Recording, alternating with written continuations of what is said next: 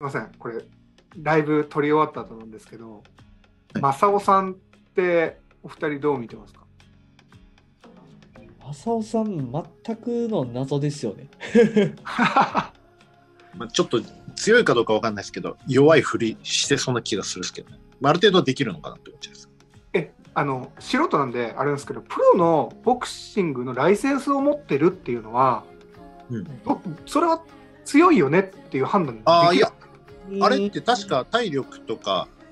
だよね、小口ちゃん。なんかこう、なんかかテストがある。総合的に見られるので、そこの相手と勝った負けたというよりかは、その基礎のところができてるかとか、多分チェック項目があるんですよ。なんで、勝てる、負けるも、まあ、そこも見られると思うんですけど、ちゃんとある程度の水準にいってるかどうかっていうところでやってるんじゃないかなと思います。僕もちょっとこれ、あの、憶測です。はい。プロライセンス持ってるから強いってわけじゃなくて、まあ、基礎、確かに基礎体力があるだけでもプロプロになれちゃうんで、ボクシングは。うんうん。だからまあ、ある程度できるのかもしれないですね。僕が話した時に、プロのライセンス持ってるから強いってことですよねって言ったら、他のボクサーとやっても全く歯が立たなかったって言ってたんですよね。あまあけどそれってそこのジムのどの選手たちとやってるかってところにもよると思うのであ、うん。なんて本当に信用できないですね。なるほど、不気味ですね。え、ぶっちゃけじゃあ、久保田さんと正雄さん、どっちが勝つと踏んでますか？えー、もうこんな材料がギャンブル。で言うても、あの、久保田君も、なんか弱いとか思われがちですけど、こう、やりにくいタイプだと思うんで、あの、左ストレート、右ストレート、こう、引かずになんか押してくるパンチというか、うん。こんな彼多分、思うんですけど、いブレイキングダウンの戦い方をちょっと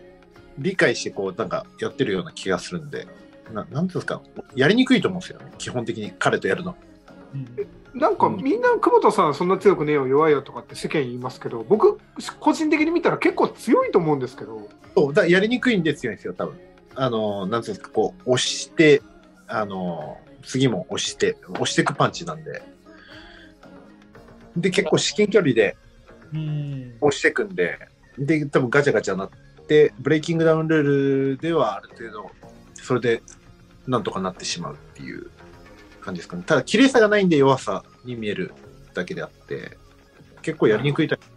だと思います。結構、普通に格闘技やってる人とかでも、彼とやるのは結構やりにくいと思います。やっぱりあの倒すパンチ打つにしてもやっぱそのある程度距離があってであのお互いちゃんと距離を保ったままやり合うからいいんですけど潰されちゃうと、まあ、組まれたりとかするとすごいやりにくかったりとかするんですよね。なんでそういった戦い方が多分久保田選手は見受けられるのかなとは思いますね。うんそうそう。で、旗から見ると、多分パンチまともにもらってないんだけど、向こうの方が押してるから、ちょっと勝ってるようにも見えるっていうのも、ある意味見せ方としてはうまいですよね。うんうん。なんか正雄さんはなんかなんか考えてることがあるらしいんですよもう当日見て楽しみにしててくださいみたいなあの、すみません、期待はできないんですけども、あの、多分皆様がオーディションで見ていた僕のイメージとはちょっと違うんじゃないかなと思います。いや、でもそこに関してはちょっとあの、どうなるかっていうのは当日見てほしいです。なんすかそれなんかあるんですか？戦い方のなんかあれが策というかまあ、本当に僕自分が弱いということを自覚はしてるんですけども、まあ、弱い、ゆうんと、弱いながら、弱い、弱いですけども、弱い、ちょっとすいません、言葉がうまく見つからないんですけど、弱いですけど、それなりには頑張ろうかなと思ってます。はい。言葉では説明できないんですけど楽しい試合にしますって言うんですよ。ああ、だからなんか何なんだろうと思って まあでもそれでしふ楽しいをふざけたら、ちょっともうよくわかんなくなっちゃうんで、どうなんだろうって、ちゃんと戦ってての面白さだったら、まあ、でも久保田君、意外に、うん距離潰していくんで、意外に久保田君勝っちゃうのもあるかもしれない。だから、その正雄君の材料がな ゼロなんで、うん、そうっすね。材料プロライセンスしかないですよね。うん。だからそこで、あの、まあ、久保選手ってガッと入ってくるんで、その時にちゃんとまあフックとかで合わせて、まあ、あの闘牛士みたいな形でこうしっかり流せれたら、多分ね、やりやすいとは思うんですけど、そこでこう打ち合ってごちゃごちゃごちゃごちゃ潰し合いになったら、久保田選手にも全然勝機はあるんじゃないかなと思うんですけどね。強くて面白いのか、弱くて面白いのかっていうところも結構キーですよね。やっぱ強くないと見てて、なんかこういうやつばっか出てくるんだったら、もうペーパービュー買わないでおこうってなっちゃうんで、やっぱ強くあってほしいですよね。まあ、長く続けるにはそこっすよね。一時的なものはそうかもしれないですけど、結局今、ブレイキングダウンもレベル上がってって、見方がだんだん変わってきてるじゃないですか、強いうん。ってきて。で、多分どんどんどんどんレベル高くしていくと思うんで、結局そこで生き残れるのかっていう、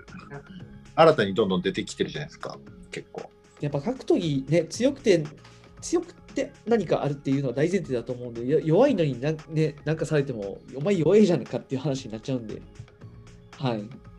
文化祭みたいになっちゃうんで、そんな 弱かったら。ではちょっと最後に12日をディスって終わるっていう感じで。はい、12日には何回も、まあ、10一人